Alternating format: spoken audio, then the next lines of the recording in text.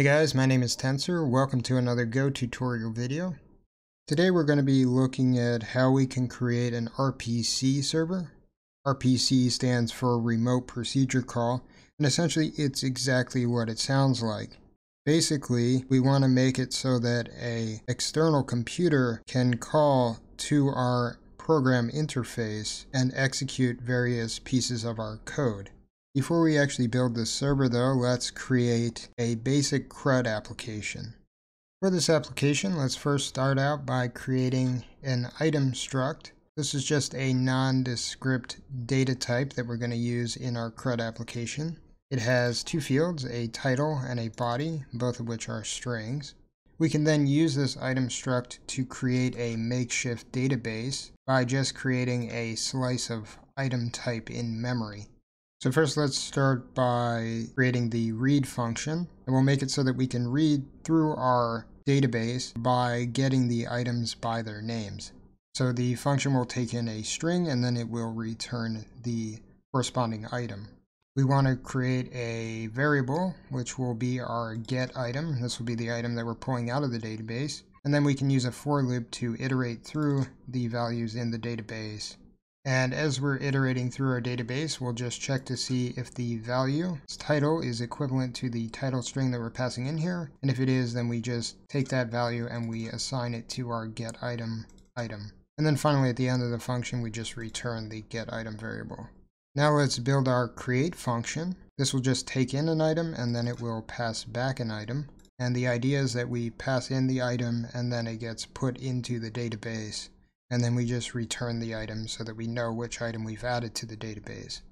So all we have to really do here is append our database with the item and then return the item from the function.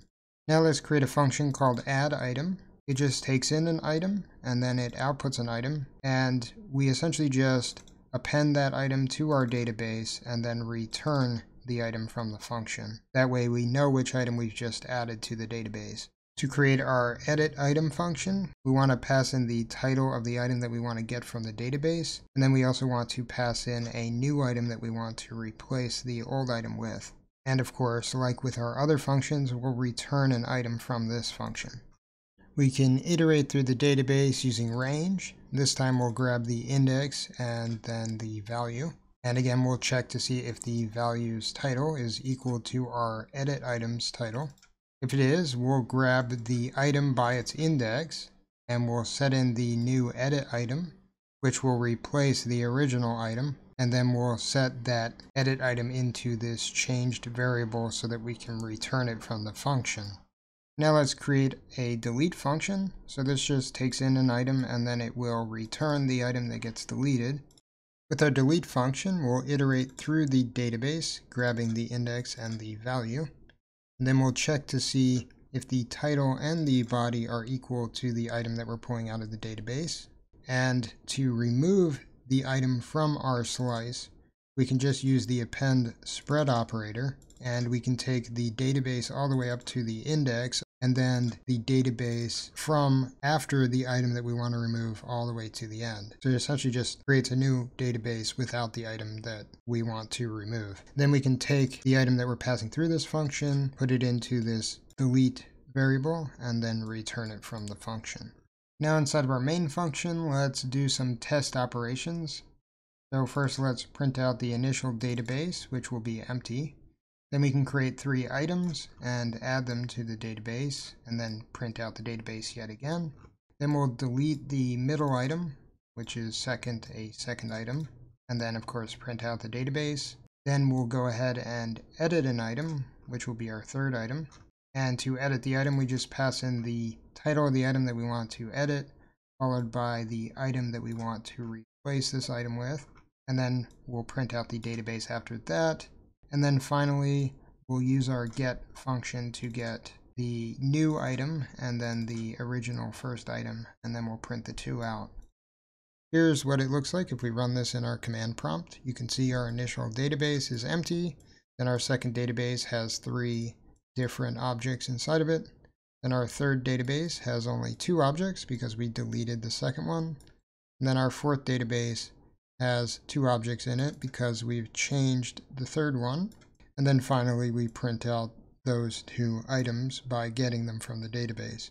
So this application suffices as a CRUD application.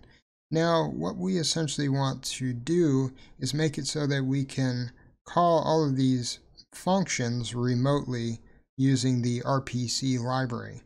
The netrpc library in Go kind of stipulates that the functions need to satisfy various different criteria.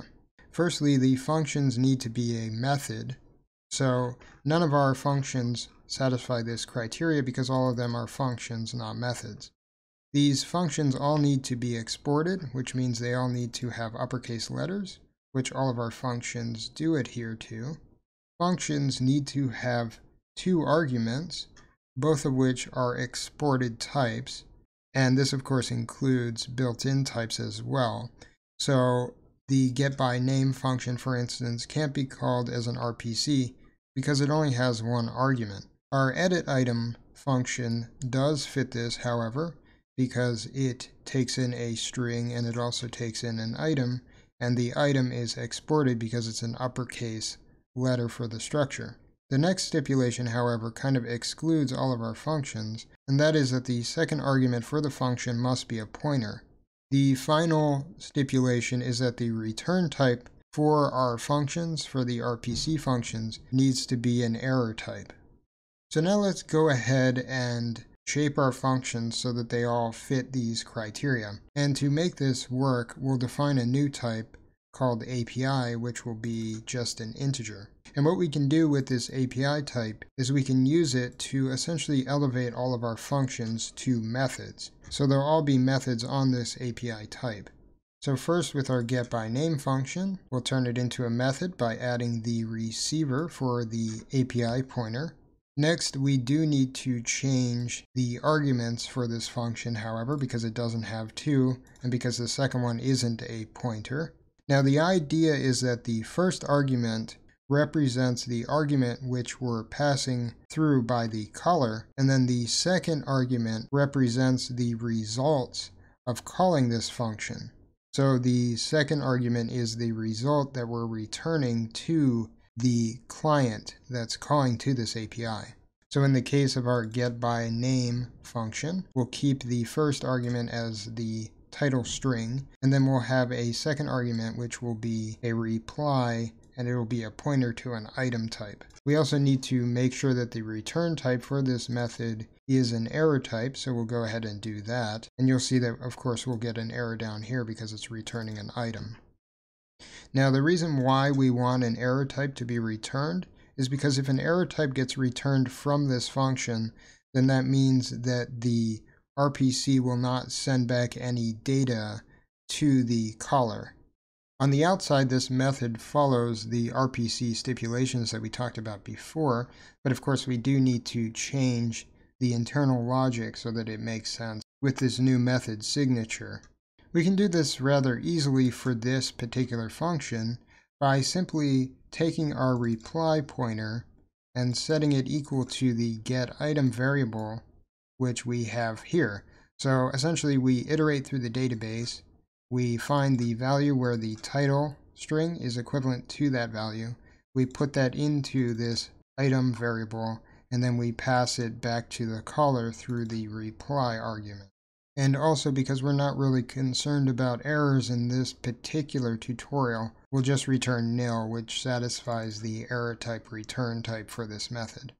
Now let's modify our add item function. So we need to add the receiver for the API type. And then of course we need to edit the signature so that it has two arguments, the item that we want to add to the database, and then the reply, which will be the item that we've added to the database.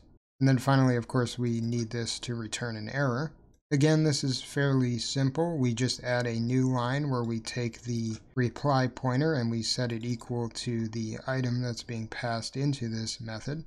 And then, of course, we return nil.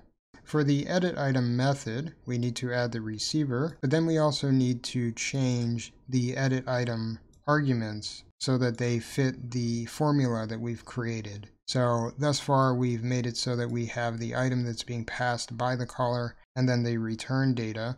So we have a string here, and then we have our item that we want to edit. Instead, what we'll do is we'll remove this title string, and then of course we'll add our reply pointer. And finally, of course, we want this to return an error.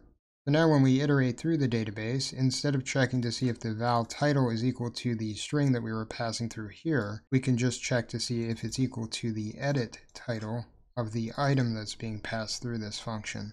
And inside of the body, we'll take the database's index item, and then we'll just create a new item and replace that old item.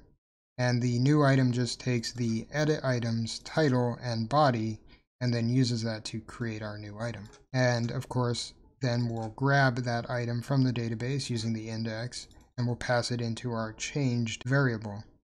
And like with the other functions before it, we can just use the pointer for reply and set that equal to changed, and then return nil for the error. The delete item function is going to be very similar to the edit item function.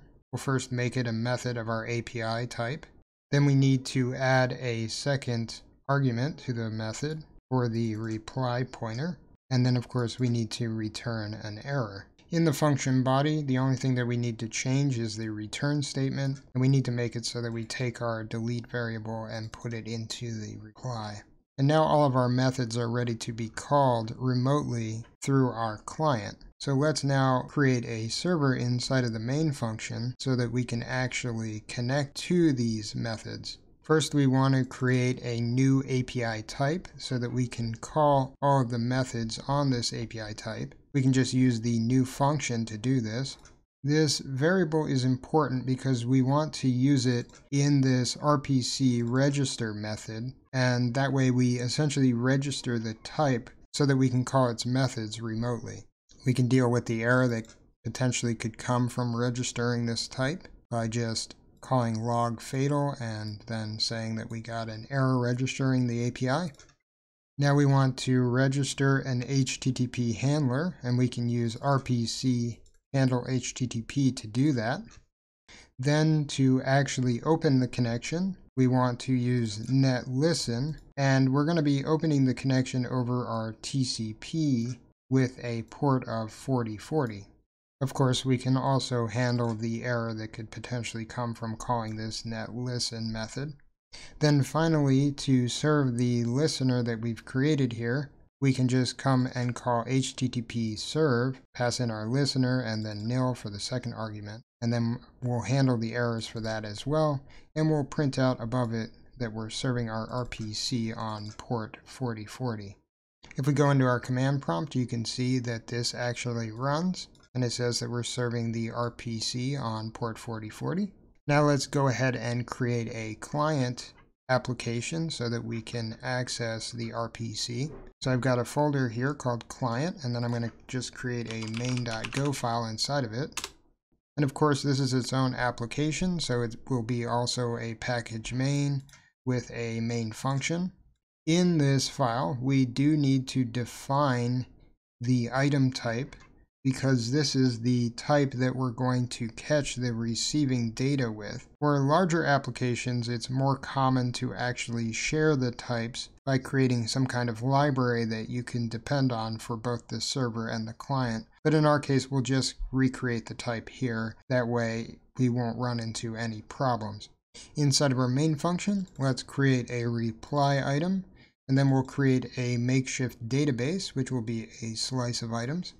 Now we can go ahead and dial into our RPC by calling RPC dial HTTP, passing in the type, which will be TCP, and then passing in the address, which will be localhost 4040. This will give us back the client and then an error potentially, so we need to handle that error. Now like with before when we were just running everything locally, let's go ahead and create a few items that we can manipulate between our client and our server. And then to actually execute the methods from our client, we can use this client call method and we want to pass in a string representation of the method that we want to execute, followed by the two arguments for the method. So here I'm calling the add item method with our A item inside of it. and I'm doing it again for B and for C. And then I'm also using the reply item, which we created up here, as our return statement. So for each of the items that we're passing to the server, we get back that item in this reply reference. Unlike our local program, however, we can't directly access the database to actually see if these items were pushed into the database. So let's go back into our server and create a function which will allow us to grab the database through the client. This method is actually pretty basic. Notice I've put in a first argument even though we don't really need one. But that's because the general structure for this function needs to have a first argument regardless. So I just put in a title string, though we don't really need to pass anything to this function. Instead, what just happens is it grabs the database and then it passes it to the reply pointer, which then sends it back to our client. So now in this case, I can call client.call from our client application, and I can specify that I want to call the getDB method on API, pass in an empty string for the title argument, and then use a reference to the database variable which I created up here to catch the result of calling this function. And now we can just print it out like we were doing before so that we can actually see what is inside of the database. Just an FYI to you guys, I kind of messed up here. I messed up in that I forgot to export both of the fields for the item structure. Then when you run the RPC client, it will just get back no data. And you also have to do the same thing inside of the client structure. So both of these structures need to be completely exported. So just make sure that everything is capital in your structure. Now we can go ahead and run our server. So you can see here it's serving on port 4040. And then if I come into another terminal and go into the client folder, I can go ahead and run the main.go file in there. And the result of running the client is to actually get back the database, as you can see here. So we get back all of the items that we created in our client. We get our first a first item, second a second item, and third a third item. And they're all now inside of the database on our server as well. And actually to further demonstrate this point, if I go ahead and run the client again, you'll see that these items will actually double up. And as you can see, now we have six items inside of our quote-unquote database. Of course, if you were using a proper database, you would have some kind of way to replace items, so you wouldn't really have to worry about this, and you probably wouldn't be directly passing items in in this way at the very least. Now, we also want to activate the other methods that we created so that we can edit and delete and read our various items from our database.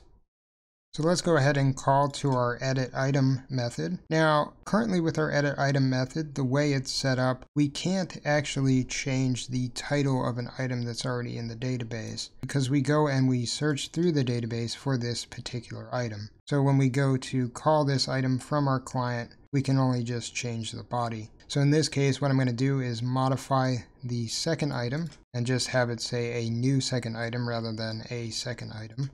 Then after we edit the item, we'll call API delete item, and we want to delete our C item, so the third item. And again, we'll get the database, and then we'll print out the database. And then finally, we'll call our API get item by name, and we'll pass in the string first, so it will go and get the first item, and then we'll print out that final reply. So let's go ahead and spin up this server, and then we can go and run the client. And as you can see here, we have our initial database, which has the three initial items in it. Then we have our second database, which has the edited second item inside of it, and the third item is removed from it. And then finally, we have the first item, which we pulled out of the database, which just says first a first item. Alright guys, well I hope you enjoyed this tutorial. If you did, feel free to like and subscribe. If you have any questions or comments, feel free to leave them in the box below.